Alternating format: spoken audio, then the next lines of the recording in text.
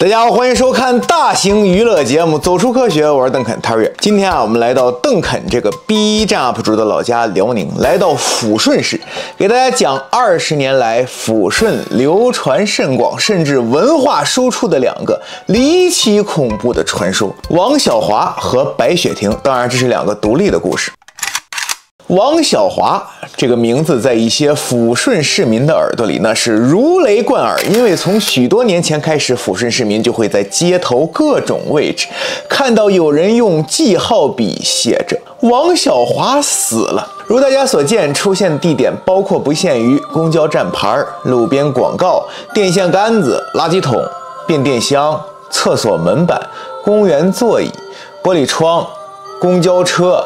共享单车等等等，如果只是偶尔在路边看到没素质的人乱写乱画的东西，那倒不足为奇。可渐渐的，抚顺市民发现，在全市各大地方，居然都能看到王小华死了，有的地方还写着王小华尿毒症死了。王小华吸毒死了，王小华不拉人屎，王小华猝死，等等，好嘛，连死因都有。我们打开抚顺贴吧，可以看到，过往的许多年，有无数网友表示自己在抚顺许多地方都看到了王小华，时间长了，甚至还搞起了文化输出。在沈阳，包括沈阳故宫墙上，许多网友都目击过“王小华死了”五个字。那么我们不禁要问了，这王小华是谁？他死了吗？死了，为什么有人要把他写在墙上？写在墙上，为什么要铺天盖地，像个幽灵一样神出鬼没的？似乎想让所有抚顺人乃至所有辽宁人都知道这个答案，至今无解。目前啊，网上流传着一种说法，说一个叫李保国的六旬老人，他的妻子王小华在一九九八年失踪了，他找了很久没有找到，慢慢的他精神失常了，一到晚上就跑出去写字儿，一写就是几十年，等等等。这个说法呀非常悲情，但是这只是一个没有来源的网上的传说而已，有好几个版本啊，大致相同，都是说谁妻子死了或者是失踪了，于是他精神崩溃了，上街乱写什么的。就目前来看，无论从数量、范围还是笔记，这么多的王小华死了五个字，那不可能出自同一人之手。我想啊，很有可能最早是有谁手欠和一个叫王小华的人有仇，于是在大街上乱写乱画，写王小华死了。时间长了，看见这个字儿的人多了，发生了人传人现象。许多无聊的精神小伙觉得好玩啊，就不明就里模仿，到处写，到处写，在大街小巷上写王小华死了。有可能参与这一抽象行为的人自己也不知道为什么写这五个字儿。直到后来影响力越来越大，王小华就成了抚顺的一个著名亚文化，甚至。都市传说，以至于文化输出都到了沈阳，就好像最近火的国外的“我姓石，无论何时与你相识，我都值”一样，鬼都不知道他怎么火出圈的。这种乱写乱画，最终成为一个文化符号啊！我是有经验的。我一个好哥们儿，他的小学同班同学，他跟我讲，有个人叫赵铁，大家就平时喜欢逗他、调侃他，以至于一到大课间，大家就拿着粉笔在学校的角落里写赵铁、赵铁、赵铁、赵铁、赵铁、赵铁，写了几个月。后来写着写着，有人把把赵铁写成了走失，加在一起就是赵铁走失，赵铁走失，赵铁走失。从那开始，他们班所有人都写赵铁走失，赵铁走失，以至于时间长了。赵铁失踪成为了他们学校当年一个人尽皆知的校园都市传说，甚至隔壁班有人看见赵铁都问：“哎呀，你回来了？你怎么丢了？”然而，人家赵铁一直上课，活得好好的。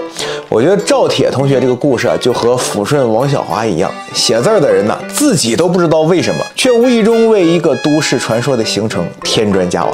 那么，如果评论区有抚顺的朋友，请说说你和你的家人曾经在什么地方目睹过王小华死了四个字。那么接下来啊，咱们讲第二个抚顺都市传说，也是从一个人名开始，白雪婷。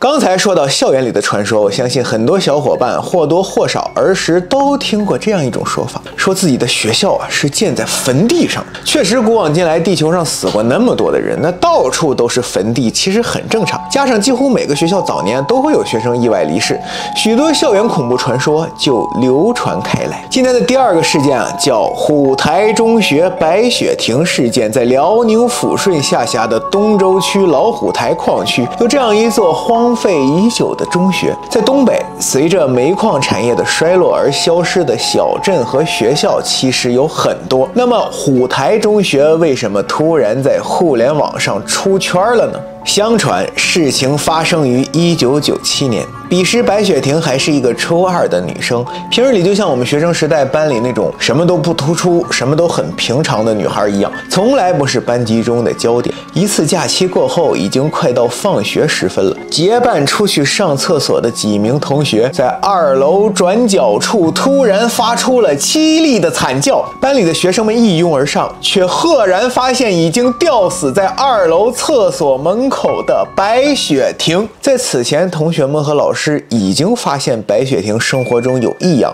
她莫名的情绪低落，还同同学们发生了小小的争执。家长也发现她最近有些异常，可没有人进一步关心她，问问你最近怎么了。学生们见白雪婷死状如此凄惨，吓得惊声尖叫，一哄而散。老师们费了好大劲才稳住混乱的局面。校方得知此事后，很快就给学生以某种名义都放假了，遣散。回家。随即，警方对此事进行调查，很快将事情调查的真相大白。坊间流传的说法说，白雪婷五一长假和几个同学去某个娱乐场所游玩，被几个小混混盯上了。小混混们用迷药迷晕并侵犯了她，之后她羞愤自杀了等等。从那之后，白雪婷就读的虎台中学开始频发灵异事件。最先有异样的是白雪婷的同学们，女孩们在寝室里时常能听见一个哀怨女生的声音在低声唱着《送别》这首歌。哎，困不是？长亭外，古道边，芳草天。哎，我怎么没有碧莲呢？这是白雪婷生前最喜欢的歌啊，《送别》。她生前就常常在宿舍内哼唱《长亭外》，可她死后，舍友们也能经常在宿舍里夜晚听到这个哼唱，就显得非常恐怖了。再后来，同学们夜晚在校园里经常能看到一个身着校服的女孩在游荡，如果谁看见了她，他就会飞速飘到你的面前，用一张看不清五官的模糊面孔对着你，用极尽哀怨的声音诉说着自己的苦难。我好苦，长亭外，古道边。这样一来说自己见过这样场景的同学越来越多。学校啊也尽力去安抚过，可依旧无济于事。后来啊，过了很久，虎台中学搬迁，校址荒废，就如同大家现在图中看到的这样。此事就渐渐随着时间的流逝被人遗忘了，等等啊，只剩下白雪婷的孤魂，有可能还在这座废弃的校园里游荡着，哀怨着。歌唱着。以上就是民间包括互联网上流传的白雪婷事件。关于真假，咱们最后再分析。而让这个传闻声名炸裂的是，知名户外博主小龙。熟悉小龙哥的朋友都知道，他喜欢去一些废弃啊、传闻闹鬼的地方探险。那小龙哥还给我充过电啊，感谢。二零一九年六月的一天，小龙夜探虎台中学，在这个长达一个半小时的视频中，出现了诸如门板动静。咚咚怪声、女人声音、奇怪叫声、微弱歌声、玻璃破碎等等等等。大家有兴趣可以在 B 站上搜搜看。直到视频的最后，高潮来了，小龙哥主动寻找白雪婷，他用手机外放送别。当然，还是咱们节目的惯例，不放一惊一乍吓人的东西，我就简单大家看看这个所谓的白雪婷现身。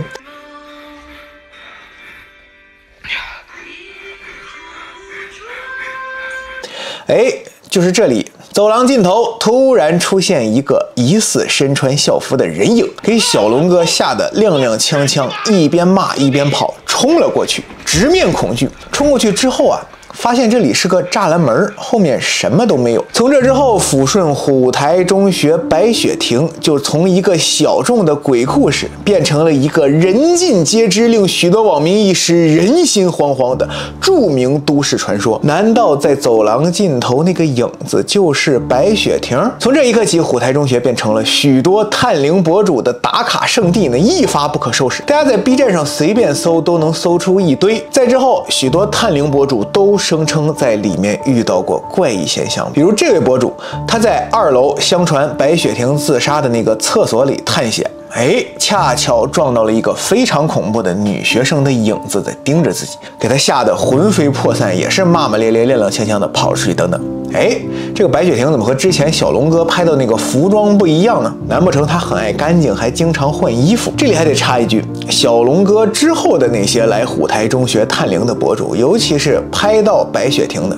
真实性存疑，因为后来许多人白天进去探险，发现里面有一些鱼线呐、机关呐之类的东西，还有人撒一些纸钱啊，搞一些所谓的活儿。这些所谓的白雪婷现身，大家可以当做是整活罢了。那我们来从头分析一下白雪婷事件的真实性啊，因为如果白雪婷事件它干脆就是假的，那么后面所有的白雪婷现身，那也就无从谈起了。那么一些年长的八零后观众朋友可能刚。刚就已经听出一些问题了。传说中白雪婷一九九七年五一长假在娱乐城被侵犯，事实上咱们国家五一成为一个假期是一九九九年才开始的，一九九七年是根本没有所谓的五一长假呀。所以我认为这个故事肯定是之后很多年才产生的。还有一些虎台同学早年的校友证实，虎台中学早年二楼是没有厕所的，现在这个厕所呀是后建的。如果白雪婷一九九七年死了，那肯定肯定也不是在这个二楼厕所里死的，所以所谓白雪婷一九九七年在二楼厕所自杀，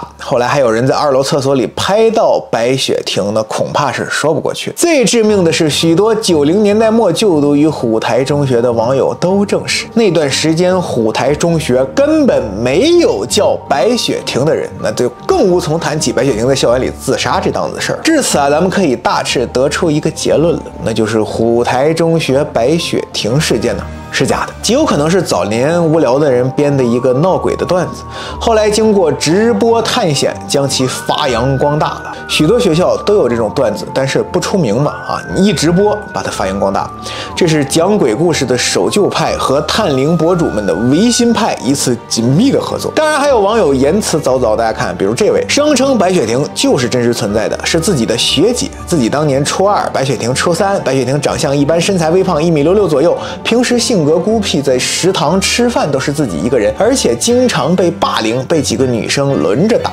出事后，校方封锁消息，云云说的有数据、有回忆、有鼻子有眼的，让不少人又开始相信白雪婷的故事真实存在了。然而，下面老校友一句话就给噎回去了：虎台中学没有食堂。